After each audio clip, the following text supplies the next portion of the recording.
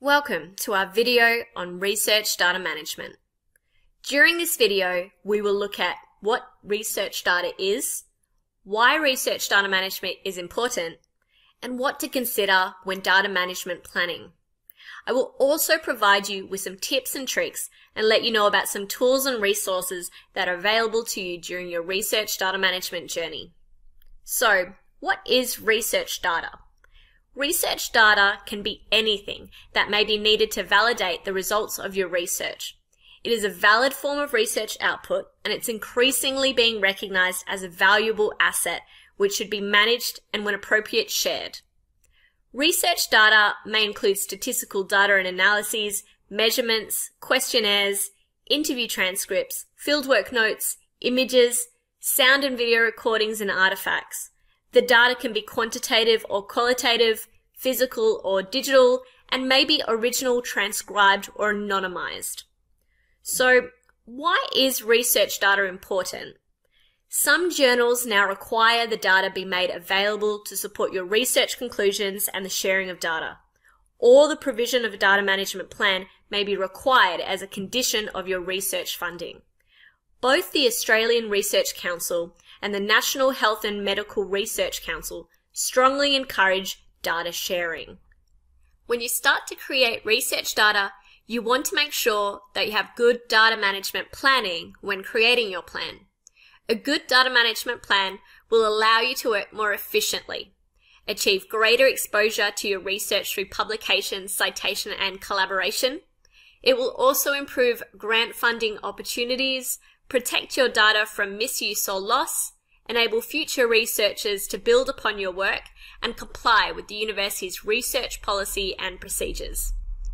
Good data management practices also support the principle that all Australia's research outputs should be fair, which stands for findable, accessible, interoperable, and reusable. Before you begin your research data journey, here are some things you need to consider when creating your data management plan. Project information, intellectual property, file formats and standards, storage and backup, sharing and reuse, retention, archiving and disposal, repurpose data that was used, and the research data management plan in regards to your discipline. Now that you've taken some of these things into consideration for your data management plan, here are some tips and tricks.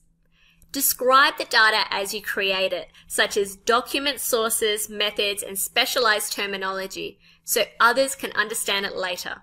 It will also enable you to create good metadata when you're ready to share your data more widely. Keep your data in a format that is machine readable, for example, spreadsheets or tables. Do not merge cells and do not use cell colors, boldings, or underlining to indicate the meaning. Rather, add an additional information column into your table instead. Ensure that you use consistent layouts and labels and include only one piece of information per cell. Consistently fill any blank cells null or not applicable when intentionally left empty and Avoid proprietary formats if possible to avoid issues if the software changes and ensure others can access the software. Also try to make sure to use good file naming conventions to help you and others better identify, understand, and navigate your work. Organize chronologically. An example of this would be using the year, month, day format to help you sort your files. Use descriptive titles. For example, include the project name and analysis taken, but make sure it's not too long. Use underscores instead of spaces, and do not use special characters, as these may be incompatible with certain operating systems. Include the creator's name or initials, and include a version scheme to keep track of incremental work. So here's an example of a good file name. And here's an example of a bad file name. Ensure that you store your data in more than one place and on more than one medium and back up regularly. And finally, with regards to sharing your data, the general rule is that research data should be as open as possible and as closed as necessary. Tools and resources that currently exist to support you in your research data management include Office 365, OneDrive, and CloudStor, where you'll have one terabyte of storage, and e-research tools such as Jupyter Notebook. But remember that cloud storage is tied to your institutional account, so remember, back up before you leave. Also, check in with your supervisor to find out if there's any specific tools to your discipline area.